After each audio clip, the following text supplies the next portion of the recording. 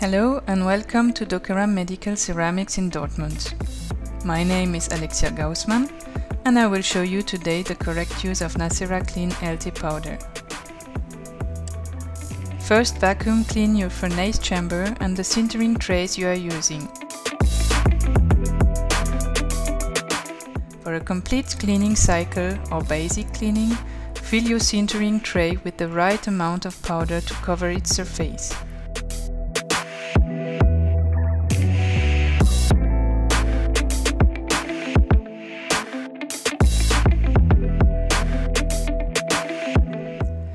If your sintering furnace is designed for several trays, fill them all with the same amount of powder. Place them all in the furnace chamber and run your sintering program.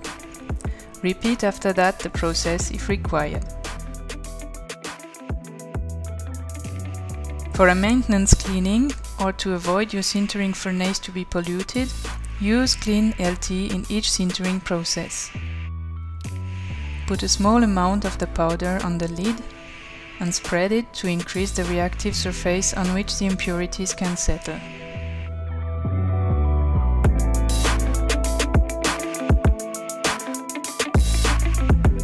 Put your lid on the tray and start the sintering cycle of your restorations as used.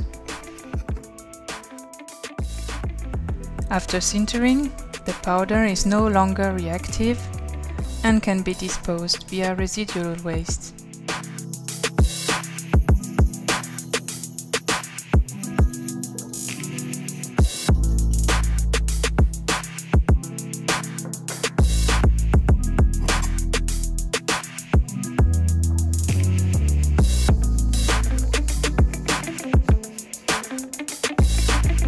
I hope this video helps you getting great and constant results. Don't hesitate to contact us for more information. Keep in touch and stay well.